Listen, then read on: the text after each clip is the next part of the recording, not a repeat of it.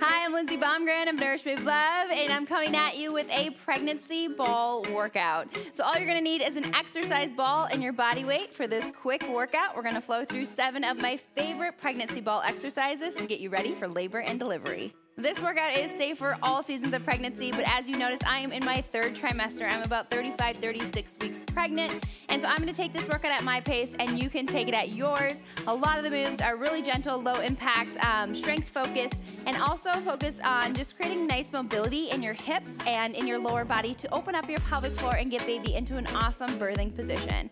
So you can take this workout at your pace. It's gonna round us out around 15 minutes. We'll do a quick warm up and have some cool down exercises built in too, but we're gonna be focusing on seven pregnancy ball exercises. We're using an exercise ball for a great tool to have on hand during your pregnancy.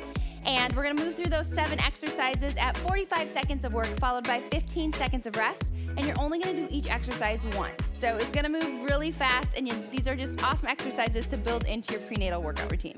So let's go ahead and get started. I'm gonna turn to face you. I'm just gonna find a nice, comfortable seated position on my ball, and we're just gonna do some good belly breathing, okay? So I'm gonna have my hands right on my baby, and my hands are going to mimic what my core is doing. So as I inhale, belly's going to expand, and as I exhale, belly's going to contract. I'm thinking about hugging the baby in and up with my abs. So big inhale, and exhale that core is wrapping around you nice and tight. The deep transverse abdominal muscles are what we're focusing on. Inhale. Exhale. Hug the baby with your abs. There you go. We're going to do two more just like it. Big inhale. And exhale. A great exercise to come back to throughout your day. Big inhale. And exhale. Nice. From here, we're just gonna create a little bit of mobility in the hips. So we're just gonna move the hips side to side. So just pushing those hips side to side. A great exercise to just open up the hips, create some mobility.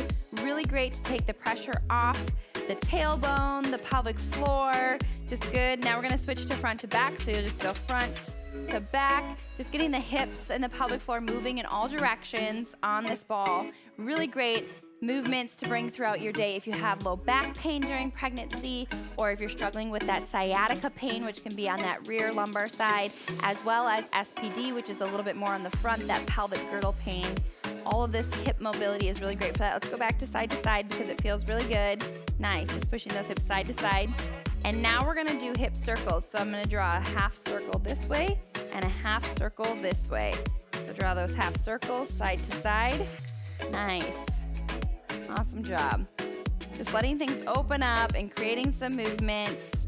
These ball exercises are just so good for opening up the hips and really good just to bring in throughout your day. I prefer to sit on a pregnancy ball uh, during a lot of my workday actually. So people think I film workout videos all day. I'm actually behind a computer a lot right? Doing a lot of the back end stuff. And so I like sitting on a ball. Just helps keep my core engaged, adding a little movement. Now, if you can, you're gonna draw a figure eight with your hips. So you're gonna go half circle all the way around. So you're thinking about drawing that figure eight or that infinity sign, which can feel a little bit funky, but getting that full range of motion in those hips.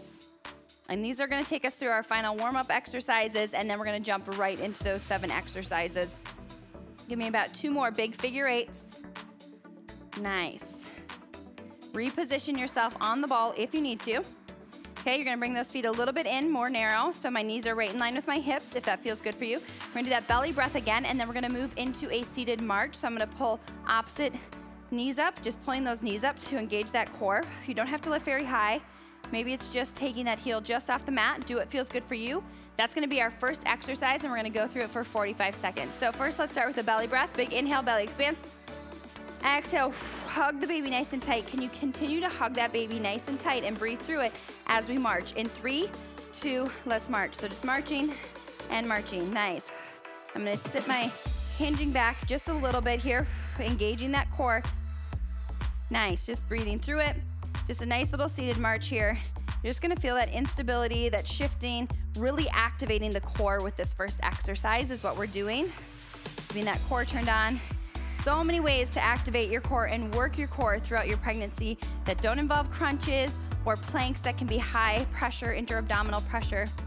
Really great for just strengthening that core in a friendly way that doesn't cause that abdominal separation or increase it if you have multiple pregnancies. This is my third pregnancy, so I'm coming into it with some existing DR. Nice, you're five, four, three, two, and one. Now you're just gonna relax.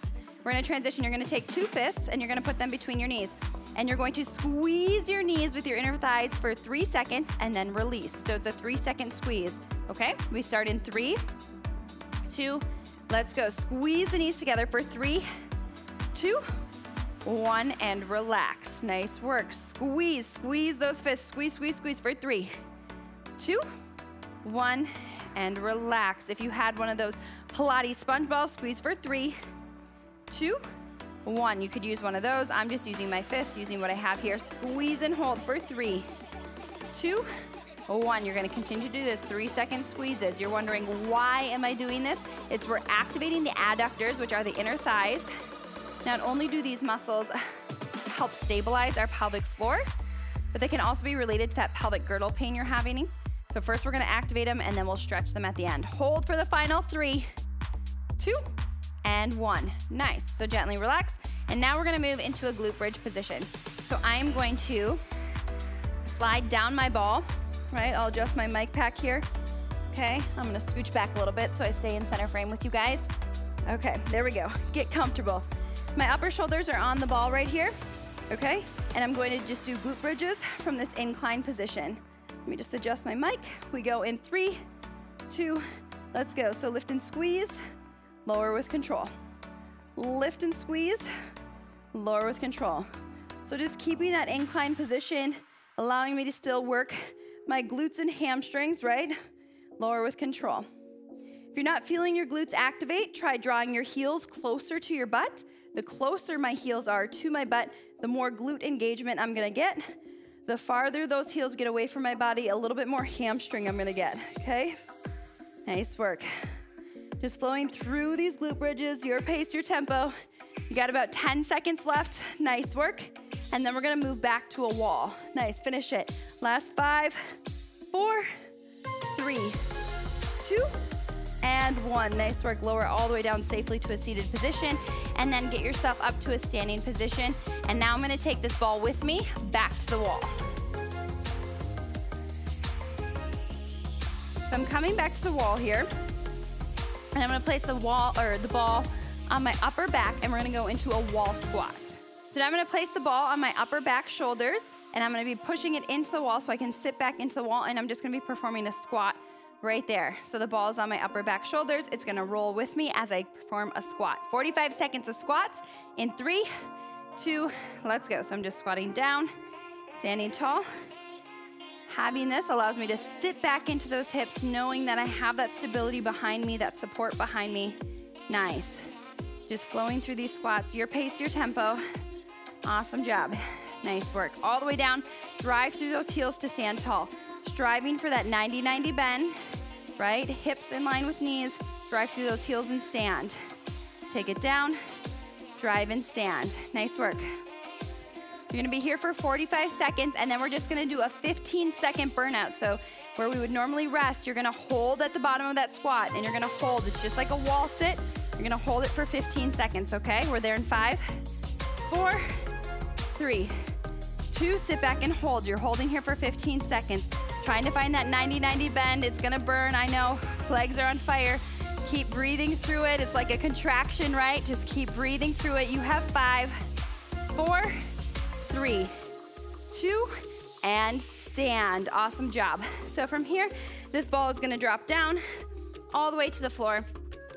I'm gonna come into a kneeling quadruped position, okay? And I'm gonna push my butt into the ball.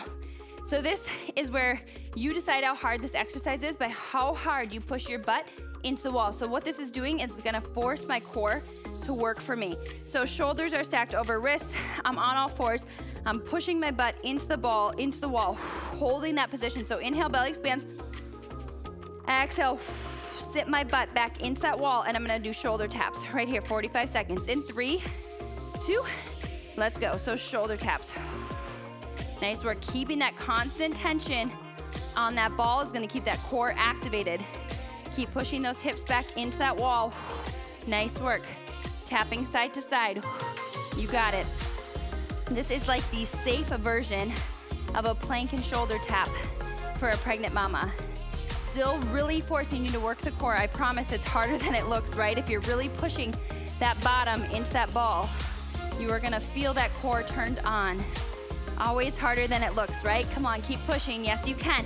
10 seconds here of shoulder taps. Finish strong. You got it. Nice work. Stay with me. Three, two, and one. Awesome job. You can take that pressure off the ball. We're gonna come back up to a standing position for our final exercise, which is a wall push-up. So I'm gonna take the ball, I'm gonna place it against the wall, and my hands are gonna be on the ball, performing a modified incline push-up and push away, 45 seconds. We go in three, two, let's go. Take it down and push up. Your last exercise right here at the wall. Inhale down, exhale, push away. Inhale down, Exhale, push away. Nice work. Working that upper body a little bit here. This is your last exercise. Then we take it back to stretching for the final right round of our ball exercises. You're doing so good. Stay with me. I gotta look back at my timer. Nice work, you guys. Lead with the chest. Push away from the wall. You're gonna feel those shoulders, all those small stabilizing muscles working in the core, the chest, the shoulders. Stay with me 10 seconds here. You got it. Nice work. Finish strong, finish strong. Last five, four, three, two. Give me one more because you can. Awesome job. All right, now let's take it back to a seated position for our final stretches. Awesome job, you guys. I'm gonna place that ball on the ground again. Come into a nice seated position. We just have a couple stretches to finish this out. So those adductors, which we strengthened, right, by doing these adductor contractions, we're now gonna lengthen by stretching. So you're just gonna find a nice wide seated position on the ball. And I'm just gonna push side. Nice, inhale up, exhale, hinge and stretch. Dropping shoulder down, pushing into that inner thigh. Thinking about lengthening through these inner thigh muscles. They often are overworked or they're tight during pregnancy because they're working extra hard to support the lack of core stability. And that can sometimes cause that pulling down on the pubic symphysis, causing that SPD pain or what people call pelvic pain. Sometimes it's often referred to as lightning crotch. That pain, this is a really good stretch to help avoid that pain. Let's go one more. Nice. Awesome job. From here, I'm gonna come off my ball into a kneeling position and I'm gonna use the ball to support me with some rollouts to stretch my hip flexors. So I'm gonna take one leg outside the ball and I'm just gonna roll into it Opening up my hip flexors right here. Nice, ball is just supporting me. Nice little hip flexor stretch. This should feel really good. A great way to open up the hips. You can take that foot out to like a 45 degree angle. Nice. Hold it here for three, two, one. Let's go for the other side. So roll back, step my other foot out, roll into it, just resting my forearms on the ball for support. Nice way to open up those hips. Just breathe into it. Think about relaxing that pelvic floor. We spend a lot of time contracting it, especially towards the end of our pregnancy. We really want to focus on relaxing and opening up that pelvic floor. Hold it here for three, two, and one. Awesome job. The final stretch is a nice supported child's pose. So knees go nice and wide, big toes to touch. You can sit those hips back and roll the hands away from you on the ball. So just really opening up those lats. That should feel really good. Opening up those hips. Big inhale and big exhale. Thinking about creating length from fingertip to tailbone. Again, really just opening up those hips. If you want to, you could always roll the ball over to one side and then roll it over to the other side. Really opening up through those lats. Bring it back to center. Let's do one final hold for three, two, and one. And that is your pregnancy ball workout. Awesome job. Thank you so much for joining me. You can carry these pregnancy ball exercises with you into your entire pregnancy. Awesome way to keep moving, keep those hips nice and loose, keep baby moving down and shifting into that proper position. And of course, if you want to find more of our pregnancy friendly workouts or stretches, you can find them all at nourishmovelove.com. Have a great day. Thanks so much for joining me for that pregnancy ball workout. I hope you liked it. And if you did, I'd be so grateful if you dropped a subscribe to my YouTube channel here. And if you want more of our pregnancy friendly stretching videos for low back pain, sciatica, SPD, you can find those workouts here. Otherwise, you can find all of our pregnancy friendly workouts in this playlist right here. Have a great day.